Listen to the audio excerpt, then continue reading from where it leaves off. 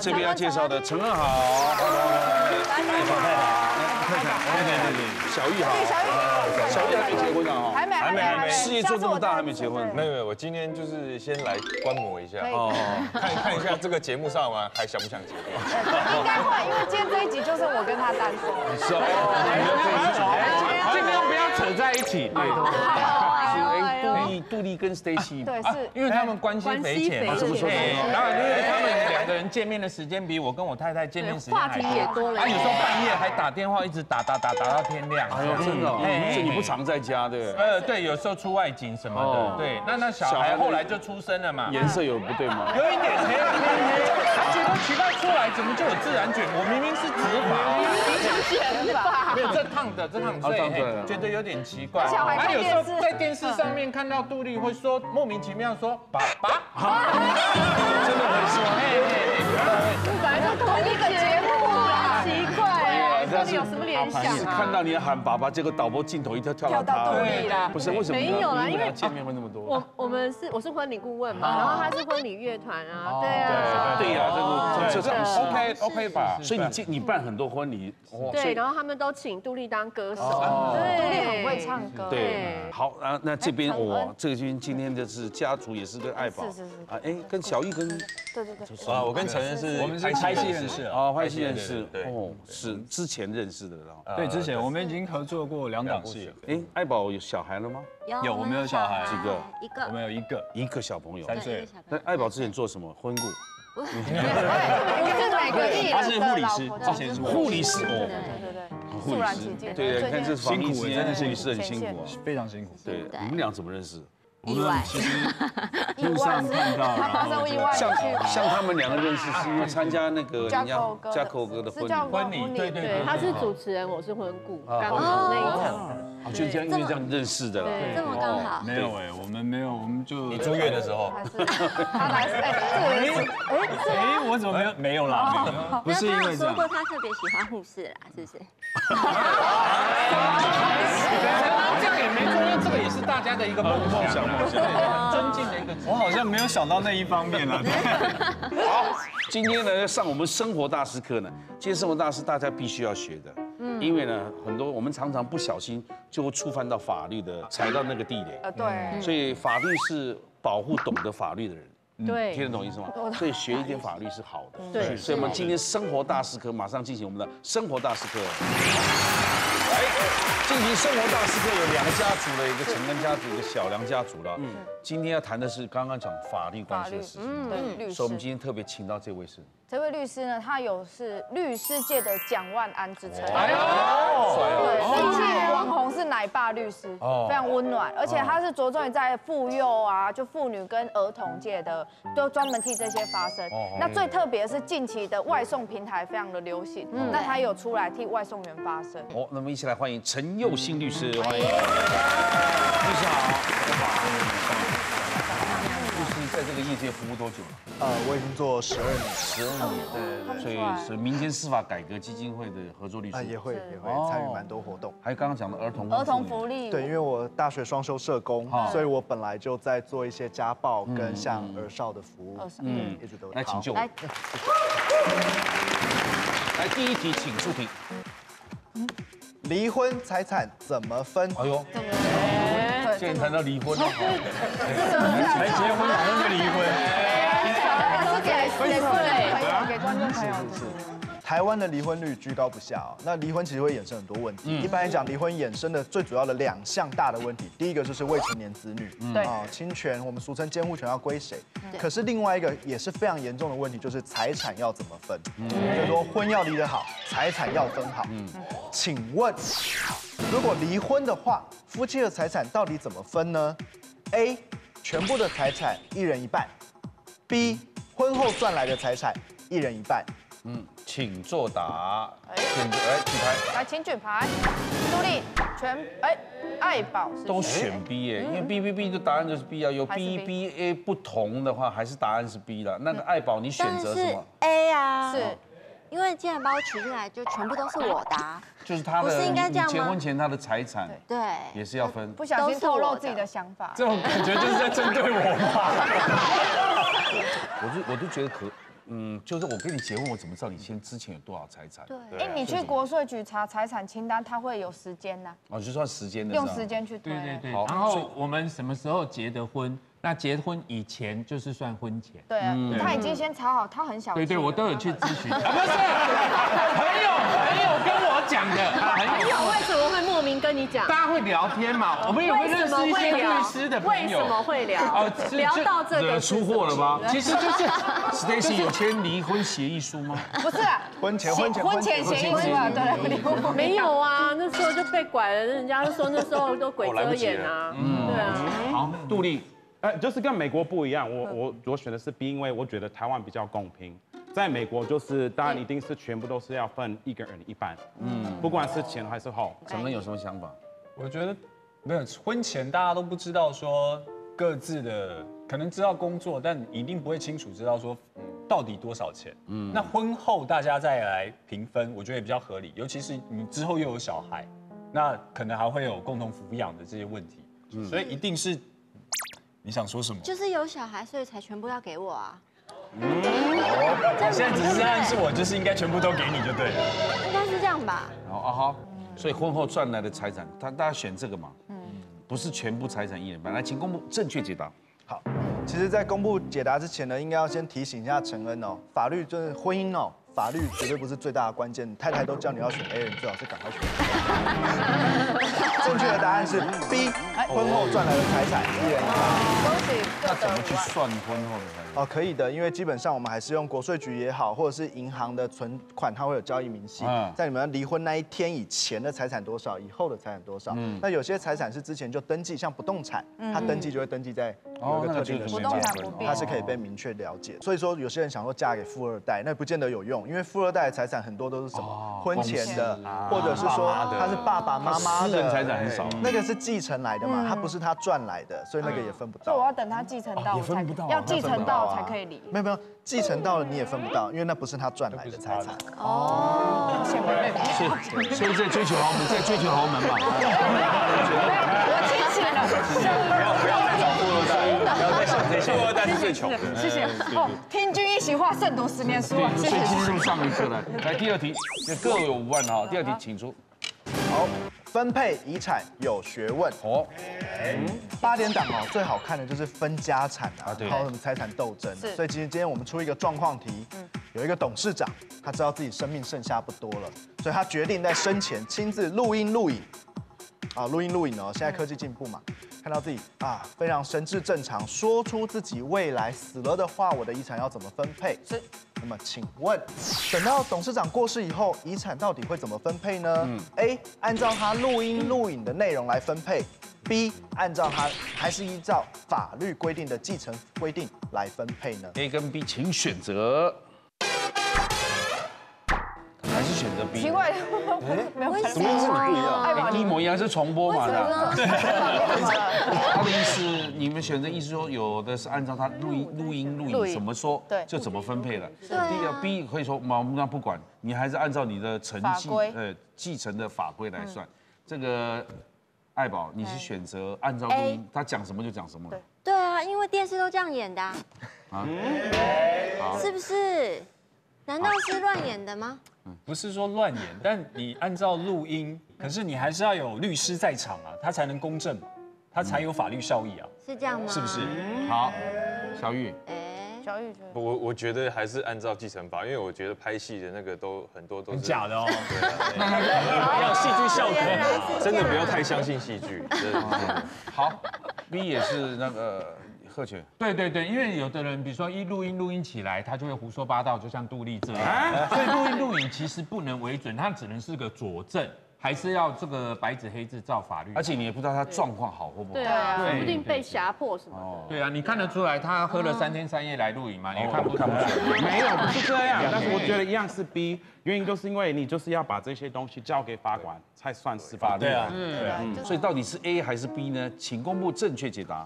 正确的答案是 B，按照继承法规来分配。五万，那是不是我们讲那个？其实大家的想法呃蛮接近的，不过其实真正的原因可能大家会有点意外，就是说其实也不是说什么要律师或者是法律公正，而是因为我们台湾的民法从民国二十几年定出来以后就没有改过。如果你要决定遗产怎么分配的话，你一定要定遗嘱。可是法律规定的遗嘱只有五种方法，比如你自己手写写出来那一张，它的效力反而还比那个录音录音录影那你来的大。写出来要不要律师来公证？都不用所以没有错。所以说，其实刚刚大家以为说会有律师看啊或什么，其实都不需要可。是我们怎么知道是对啊，他写的？是他写的，没有错啊，所以其实这是一个不合理的状况。我我认为目前的法律规定有它不合理的地方，因为你自己这样手写，从头到尾手写写出一张来，那其实也没有人知道你写的时候有没有被胁迫什么，但是它的效力比录音录影还大。哈，对我建议大家一个方法是，我我都很推荐大家去，不一定找律师，因为律师有时候比较贵。有一个比较好的方法是去法院的公证人，嗯，公证法院公证人，你做公证遗嘱，它其实是最效力最好、最强的一种遗嘱。嗯，那你要做的时候，你只要用嘴巴讲，讲给公证人听，他会帮你打字做出来，那一份遗嘱是最有效的。哇，这个距距离我们很遥远，对啊，因对对为我是，对但是小珍常常有跟我聊这个。哦，我也 律师认识小珍吧？哎，你看，你看，有有私交了。第三题各十万了哈，嗯，第三题请出题。好，第三题是欠钱不还钱怎么办？哎，面对好朋友哦，借钱周转是常有啦。那有时候很为难，刚刚还提到本票，有时候连本票都不好意思叫他写，本票借据都没写就借出去了。嗯，那碰到这个迟迟不还钱的人，真的很苦恼。请问，如果没有写本票或借据，用什么方法才有可能拿回钱呢？A. 循民事途径提告；B. 告他诈欺。请选择。好，就选 A 的多了，寻民事途径提告。Stacy，对啊，因为他答应我要还我钱，然后没有还我，那不就是骗我吗？那你怎么举证呢？对啊，就是诈欺。你没本票，也没没借据？有借据，嗯，对，这个你赖有对话啊，对啊，有时候会有一些，应该多少都会有一些赖他会对话吧，比如说问他说什么时候还我，让他回我什么啊，就要想办法自己去收证啊。录音所以你要告他诈欺，就太对啊，因为他骗我嘛，对，诈欺不就是骗吗？诈欺算刑事刑事诈欺是骗，骗对。，感觉诈欺他比较容易重视这个问题，告民事他可能就啊赔赔，那就赔赔钱，找个律师。哦，你的意思说是民事他没有刑法的问题，但如果诈欺他可能会去坐对牢。对对对对，哦，所以选择告他诈欺，他比较愿意还。会怕这是你们的逻辑嘛？哈，对，选择 A 呢？这个陈安，在民事上你比较有机会可以，因为他不是一个刑事案件啊，他没有做伤害，没有做这样子的事情，好，他诈你的钱呢？对，但他没有伤害你。那也是一种伤害啊。对啊，伤那你那你借我两百万，那你借我两百万，没有了，你看有没有伤害？所以台湾这种纠纷很多啊。对嗯对啊，像我去年跟呃肖亮哥跟我借借个十万，他不还，我本来想要去告他，律师跟我说没有用。哦，所以寻民事比较有。你干嘛告他？你告你告诉 Stacy 就好了。对对对，没有因为钱都在他那里啊。哦，是这样的那我就是要告他就对了。啊啊，哪有告啊？诉他，寻民事途径提告的有两位，告他诈欺有四位，你们答案都是 A 的，A 就对以。A 为主。来，请公布正确解答。正确的答案是 A，寻民事途径提告。可是民事途径，第一个你要你要举怎么举证？对，其实其实刚刚大家提到，其实没有本票、没有借据的话，其实在举证上都是有困难的。嗯，可是有 Line 的话，对不对？对，刚刚 Stacy 讲的没有错，这种 line 这些是嗯不是办法的办法对，了，自己自己收证嘛。对自己收证，但是 line 这种东西都比较困难。但其实这一个题目啊，真正说为什么不是走告他诈欺？诈欺是一个刑事案件，为什么不是这个答案？是因为其实我们尤其像现在检察署、检察官接到好多好多这样子的案件，嗯就是借欠钱不还欠钱不还，然后就来告诈欺。那其实有一个名词啦，我们就有点认为这是假性经济犯罪，就说它其实不是真的犯罪，嗯，其实是假的，因为借钱他基本上就是有困难才借钱，所以他当然有可能还不起啊。那除非说他一开始就故意骗你，就是说他其实根本就不缺钱，然后用别的理由，然后骗你，然后把钱给掏出来。那这个东西当然才有可能是构成诈欺，不然一般标准借钱的状况的话，它就是一个单纯的民事纠纷，它比较不是涉及刑事诈欺。但是奉劝各位啊，借钱的时候哈，是人家求你啊，还钱都是你要求人，真的非常难看还不。知道怎么开口，又不好意思。尤其现在时局很不好的之前前提之下，应该很多人会周转，对对不对？第四题，请出题。随口说说要小心。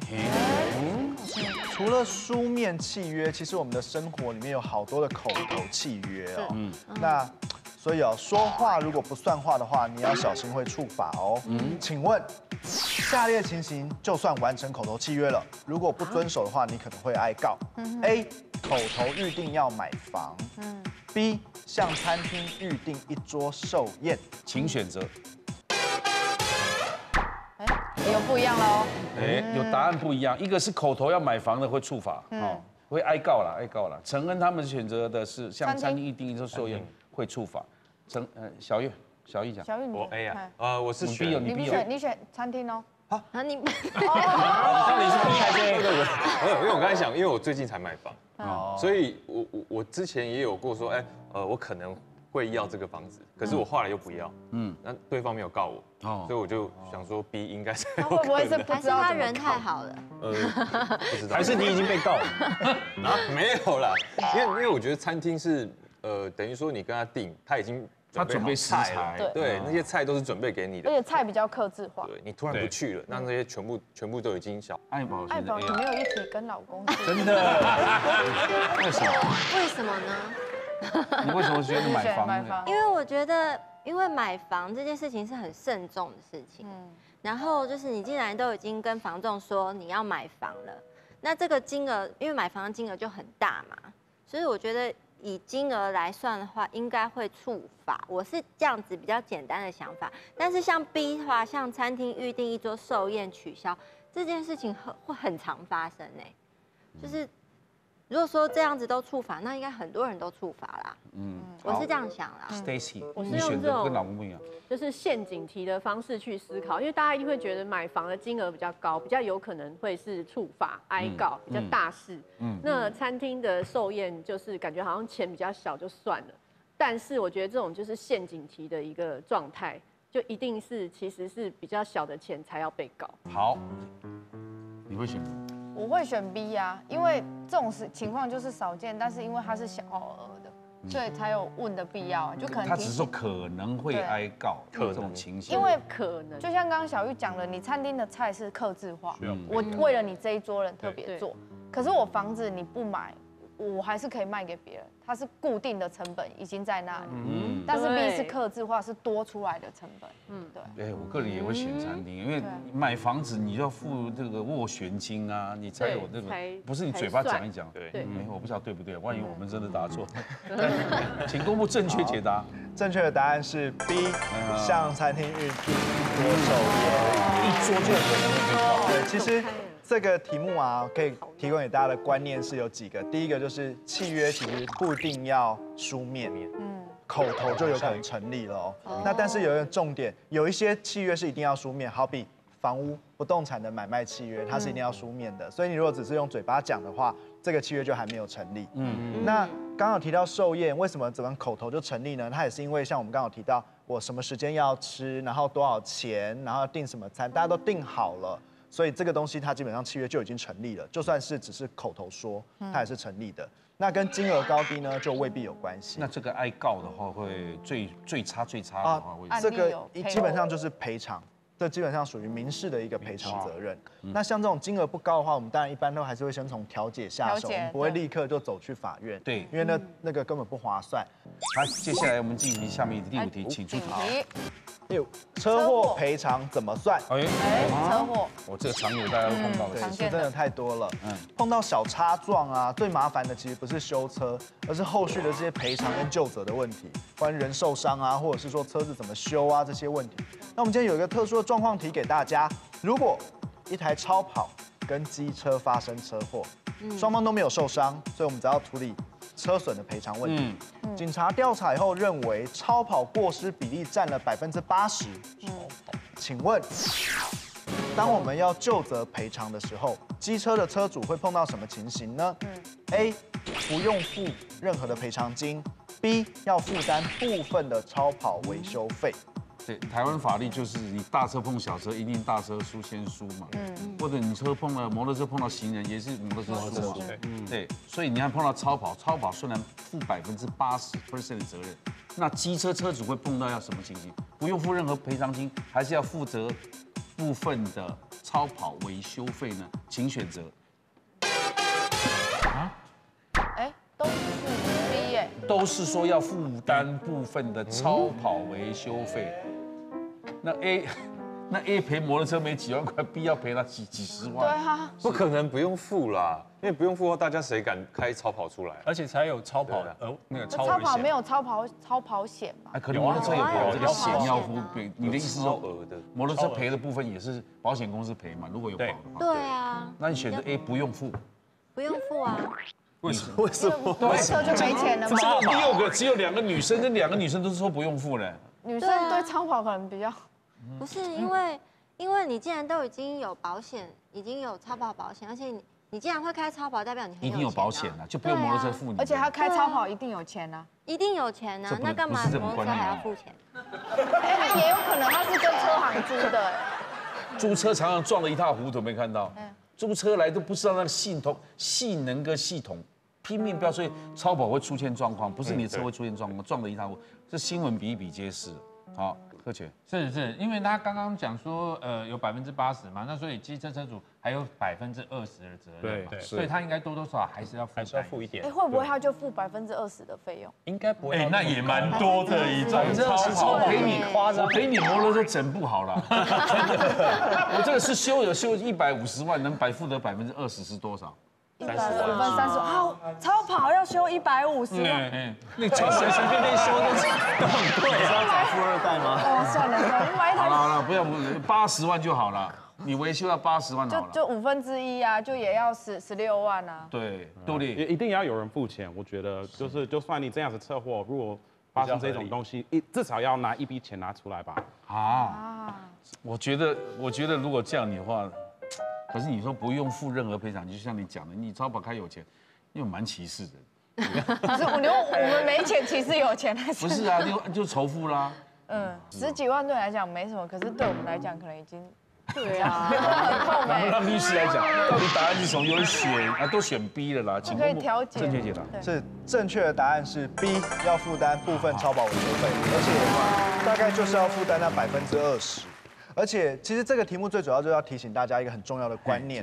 你说，其实，在法律上有点硬，比较硬的地方就是，如果我们真的判断出来，我机车的责任是百分之二十，那只是个比例嘛。嗯。可是人家的损失是，呃，两百万。那我百分之二十，我就要负担里面的四十万。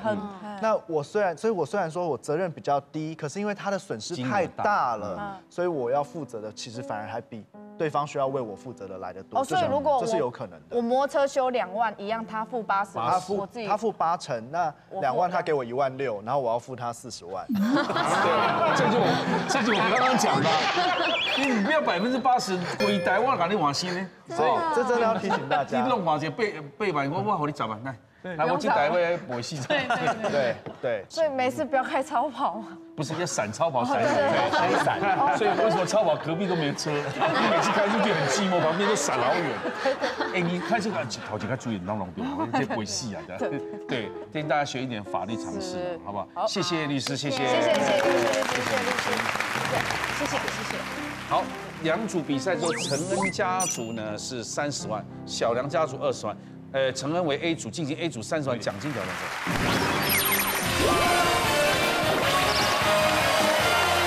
今天两个家族里面都没有获得奖金，在这个排行榜，但希望将继续加油。A 组三十万，B 组二十万可以插花。第一题，请出示三个答案选项：一、认真打游戏时；二、刚洗完澡；三、修水电时。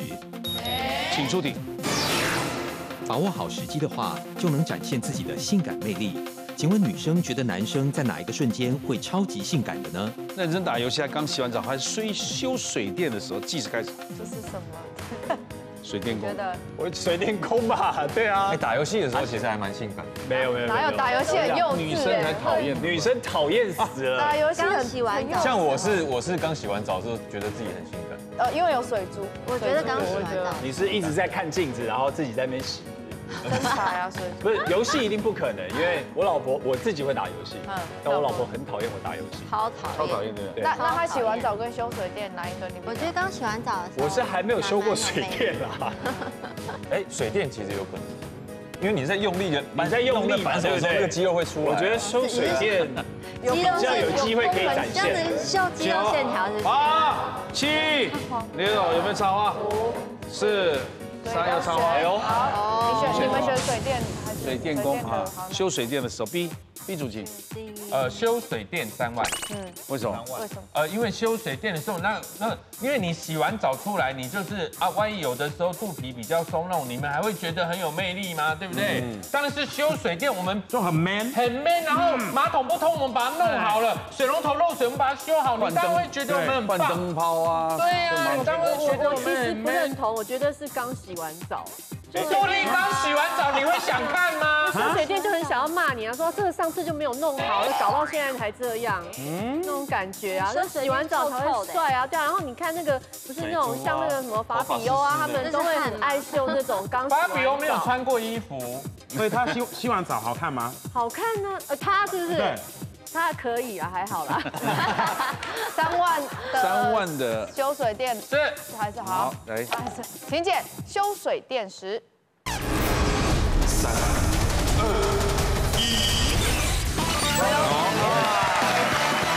两性专家表示，女性通常会觉得男性在运动流汗时和谈论到自己的专业时非常性感，而修水电时刚好就结合了这两项优点，不仅表现了对水电的专业，让女性打从心里佩服，修理时汗流浃背的样子也会让女性非常动心，就是非常专注在修理这些家务。所以水电工为什么常出事？就是 这来我家的都不是党内。来，接下来第二题，B 组有二十三万了，请出示三个答案选项。一、审查未过的言论；二、爆红的影音影像；三、没有才艺的网红。请出题。最近“迷音”这个网络用语相当流行，请问“迷音”指的是什么呢？计时开始。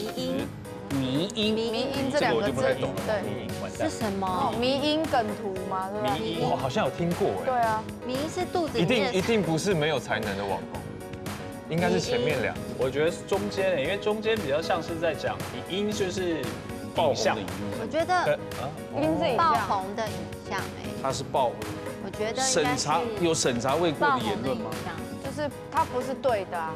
那会审查吗？大家这边讲瞎讲已经这么多年，嗯，你也是，所以我觉得是迷音是影像影爆红的影像。啊，我们终于有共识嘞！我也我也第一次有共识，第一次有共识哎！我觉得有共识很危险。五没有要插花，来，请准备剪啊！直接剪，请剪请剪爆红的影音影影像像。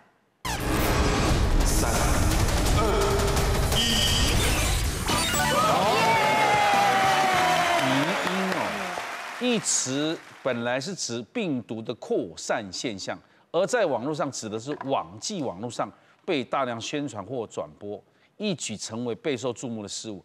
像今年爆红的非洲欢乐台湾就是一种迷音。哦，你迷上它，因为什么迷上它？不知道迷音。迷思。一个现象，扩散的现象，大家一直转发。哎，好奇怪，有时候东西一样东西，这个该红就爆红了。对啊，有的莫名也是其妙就红，你觉得蛮好笑，但但就还好。对对对对对。第三题了，请出示三个答案选项。一、一百三十岁；二、一百五十岁；三、一百七十岁。请出题。曼秀雷敦是许多人从小用到大的药膏，请问曼秀雷敦的小护士其实已经几岁了呢？麻烦小护士，小护士那这样一定不在了嘛？对，已经老一百三、一百五、一百七，一定是不在。是算算到这里，他是几年的？计时开始。我跟你说一百七，真的吗？怎么？你知道吗？对啊，我得靠你为什么？为。什么？为什么？因为曼秀雷敦的是绿色的，然后，对对，你只是因为颜色吗？哎，一百七我们就说真的为什么为什么？因为麦秀雷敦绿色，你就剪绿色的。我说 哦好好。他的意思是说，是不是因为绿色？因为卖一百七是绿色。绿色的，我的妈呀！那你你大概知道他这个药是多什么年代出来的吗？完全不知道，不知道。有可能是在战争时候。十、九、战争、八、七、六、五。我觉得我觉得一百五，一百五。来，请姐没有插花，请剪。没有插花吗？请剪，你老婆的，请剪一百七十岁。剪掉。一百七十三。二一。三啊！结果竟然是一百三哎。创办人艾伯亚历山大海德先生发明曼秀雷敦软膏，创立西元一八八九年，至今已一百三十岁。最早是供给外国传教士带到中国、日本等地，至今曼秀雷敦软膏已经世界各地成为每个家庭生活当中的必备良药。所以那个小护士的画像，就等于他创始多久？对，就是一八八九一八九零，一百三十岁。小玉，第二棒来，请。太难了，对对，太难了。好的，来第三题，请出示三个答案选项：一，可以刺激味蕾；二，可以改善肤质；三，没有营养价值。请出题。有时到高级餐厅会看到食物上或是保养品上会有金箔，请问下列哪个对金箔的叙述是正确的呢？是可以刺激味蕾，还是改善肤质，还是没有营养价？即使开始。我跟你说没有营养价值。嗯，真的，没有营养价值，它纯粹好看而已。可是它为什么可以刺激味蕾？它没有刺激味蕾啊。它，他说正确的啊，因为它上面是写讲哦是正确的，对，你你要正确的。所以应该金箔应该是没有营养价值，没有营养价值的，它只是要只是好看的，只是好看而已。它是刺激你的感官。因为这个我对金箔完全没有完全。我确定。刺激味蕾，因为它你的影像它会让你想要吃。一个尊荣的感觉。对。所以它完全没有没有没有它没有营养价值。八。像保养品可以改善肤质啊，有差不可能。你要不要？好，来全选择，不剪了，不剪。没有营养价值，B 组。呃，没有营养价值，三万。这为什么这么决定？啊，因为他那个我们看那种很多警匪片有没有？那种那个小偷他不是那个人家要抓它就把它吞下去，吞进，然后就出来，嗯，出来就刚好也是完整的，根本不会被吸收，也不会被溶解什么的，所以它就等于一点营养价值都没有啊。嗯，所以你说吃完也是最后变大便就就就出来了嘛？哦，没有营养价值，一点都没有。好，来三万块来减。请姐，没有营养价值。三二。是什么意思？那么对，就是尊荣有钱的象征，是好看的。营养师李婉平表示，金箔没有营养价值，在人体中不会起任何化学变化。皮肤科医师邱品琪表示，皮肤对黄金不会有任何反应的，相对没有益处，也没有害处。而金箔当做保养用的，除了使用感觉是很贵气，恐金嘛，嗯，那满足一时当贵妇的心理，这种作用对于肤质改善基本上。没有太大的作用，所以那些金箔的面膜其实没有用的。没有。对啊，没有用。接下来第四题了，请出示三个答案选项：一，自己学识不如人；二，没听从老师的教导；三，没有尽到孝道。请出题。台湾人很有礼貌，常常将对不起放在嘴边。请问最早时是为了什么才会说对不起呢？自己学识不如人吗？还是没听从老师的教导？还是没有尽到孝道？计时开始。哦，对不起，对不起，应该都是对不起自己。我觉得所有对不起应该都是从家里开始，所以应该是没有尽到孝道？家人开始。学识不如人，尽到孝道。因为对啦，齐家治国平天下嘛，齐家先嘛，嗯，所以确实好像没有尽到孝道，先讲自己先。对，家好是我们先接触到的对，因为以以前以前我以前我就是家里如果拿筷子没有拿不好就会被打，然后说啊对不起对不起，从这个开始。是这样吗？是听起来怪怪。九，对不起爸妈的教，七，是这样。六有插花吗？五四没有插花了，没有插花，请剪。请剪，没有进到孝道。三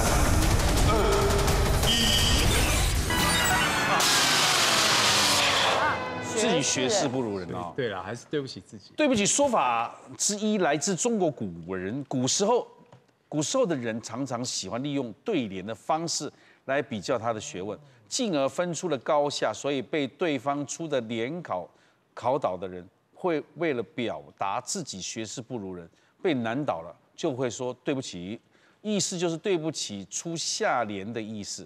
接着慢慢流传于后世。演变，只要得罪人，无论在学问啊或谦虚，都会很礼貌的跟你讲啊，对不起，对不起啊。哦，对对子对不起啊，对不上，对不上嘛，对不起，你出了上面，我对不起下面，我对我对不起，我好，我就对啊，对不起，对不起，对不起。好，谢谢爱宝，好，谢谢。爱宝，完蛋了。对穿穿对穿肠，对穿肠。我出几十两血。可以。第四题，请出示三个答案选项：一、想闻自己的味道；二、安抚情绪；三、手没事做。请出题。专家研究发现，人类都有不自觉摸脸的行为。请问最主要的原因是什么呢？为什么要摸脸呢？想闻自己味道，还是安抚情绪，还是手没事干就是摸脸？计时开始。哇，这答案什么？可以讨论，先不简？安抚情绪。你觉得呢？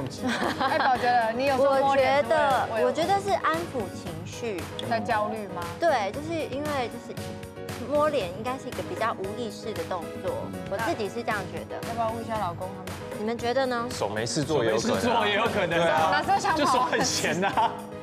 但我觉得这个这题很很个人化耶，对不对？想闻剪刀在你手上，你想闻自己味道怎么？你要会变这样？会这样吧？你会这样闻一下？闻一下吗？应该是这样吧？那个手不一样。对啊，我觉得。所以你们觉得是手没事做？倒数计时，十、安抚、安抚情绪，八、七、六、五，那你可以选择一样，没有差的来减。的是安抚情绪。一开始想减呢。三、二、一。想闻自己味道？什么？摸脸会想闻自己味道？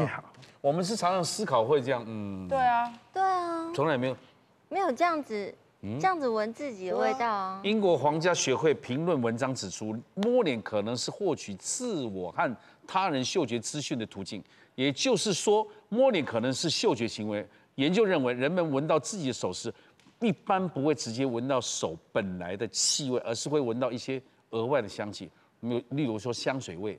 还有洗手那个一些洗手液啊，它有它的味道。肥皂什么的。由于人类摸脸的频率较高，无论是主动或是潜意识，摸脸闻气味的过程，其实是找寻自我的认同。还是是英国人？好特别哦，没有想过。来，B 组有二十六万，请就位。B 组二十六位五题了哈。这群要大声跟老婆讨论，好，还有跟情敌也要讨论，谢谢。第一题，刚刚他们在那边等的时候，还两个在那边互相自拍，真的是真的看不下去。对啊，我想说他们两个很像一对。对呀，该剪的不是线是杜丽。第一题，请出示三个答案选项：一、张大千；嗯，二、蒋经国；嗯，三、傅培梅。嗯，请出题。台湾第一款有牛肉块调理包的泡面满汉大餐，是在谁的指导下开发的产品呢？计时开始。这这是送分题吧？这是送分题吧？对，这三个三个名字杜丽都不认识啊！你们三个都不认识，对，他三个都不会认识啊！他不认识，当然认识啊！我当然认识啊！那你觉得呢？我觉得应该不是傅美美吧？傅美美是不是？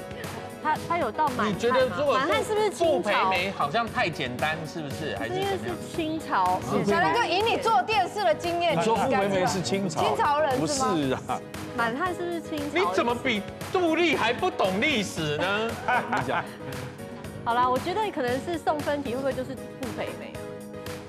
因因为照理说应该是，对啊这个名字选啊老师才是在做厨艺的。因为满汉大餐那时候金国先生在嘛，对啊，张大千更不可能，他是画画嘛，对对啊，这还用选？会不会封面是他画的？七，喂，张大千画满汉大餐封面，应该是傅培梅吧？请姐，傅培梅，三二一，这题是赌赌大家对年轻人对傅培梅不认识，对，所以会对傅培梅到底是谁？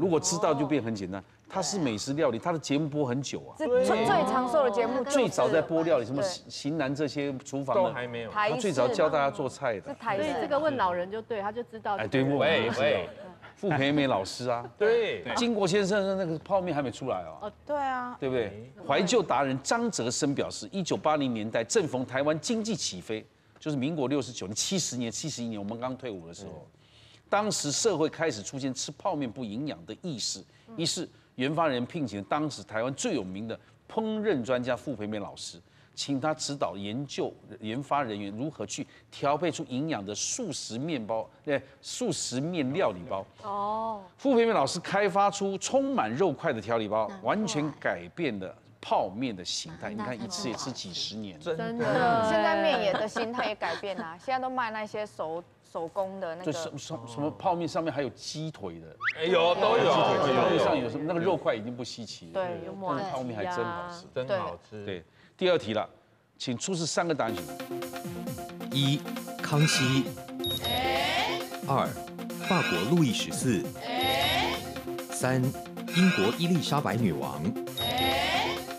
请出题。请问下列哪位君主是目前历史上有确切史书记载以来在位最久的君主呢？是康熙还是法国路易十四还是伊丽莎白女王？计时开始。嘿，怎么样？感觉是不是康熙？哎，这个杜丽也可以参与了吧？因为也有是有一些多久？对呀，国际上的很久啊，很久。可是康熙好像也很久哎。对啊，是。对啊。伊丽莎白女王不是现在这一位吧？他一定想这个位啊！是现在就就现在这一位吗？对啊，就现在这位啊。那你我以为现在这位是二世还是什么？No No No。康康熙好像也很久了。哦，真的。对啊。还是杜杜丽杜丽，你觉得？我都不知道哎。那你来看是美国人啊？那是陪陪爸爸。英国的历史、法国的历史，他也可以念吧？我美国人啊，不好意思，不好意思。啊，你也可以。啊，我也。你还问人家来干嘛？跟他一样的。你也在美国读书哎。哦，好好。九。康熙嘛，哈。先暂停。五、四、三。好，没有插花，你选择康熙。康熙在位是六十一年了。六十一。哦，是哦。六十一年。六十一年。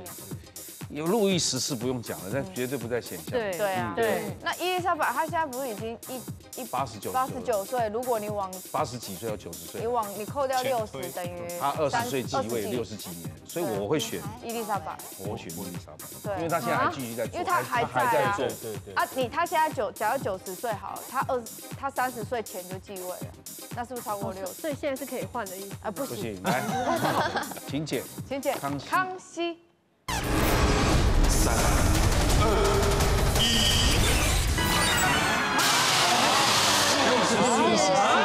哇，这陷阱了吗？路易十四，法王路易十四从一六四三年到一七一五年在位，期间七十二年，对，又一百一十天，嗯，是确切记录在世界历史当中最久的主权国家君主。康熙在位六十一年，我刚刚讲了嘛，哈，英国历史上目前是六十七年，是目前在位君主在位时间最长的君主。